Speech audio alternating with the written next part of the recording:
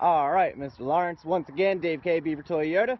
And right next to the Altima, um, I have a 2013 Hyundai Elantra Limited, one owner, clean Carfax, only 18,000 miles. And like I said, I'm going to um, keep these, uh, I know you have a price point.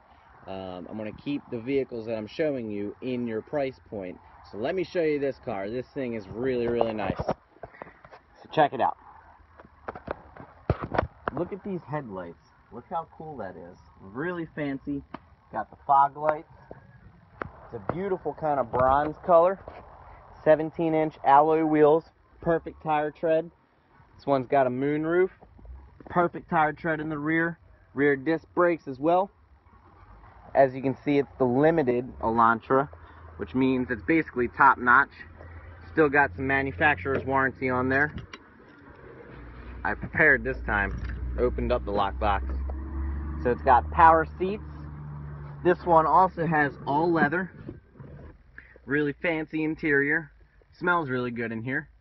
You got garage door openers. I'm not sure if you have a garage door. Um, spacious in the back. It's got this really nice center console there.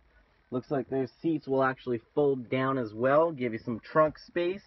Uh, this one has heated seats, power mirrors, uh, heated mirror, no, no heated mirrors, sorry about that.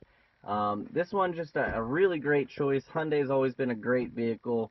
Um, just do your maintenances and these things will last just as, just as long as any other vehicle. So um, I hope this video reaches you well, as well as the Altima. And uh, I'm still going to keep on looking, find a couple more options. I know I got something else out here. If you don't like these two, I think you'll like them though. So uh, thank you, and once again, Dave K. Beaver Toyota.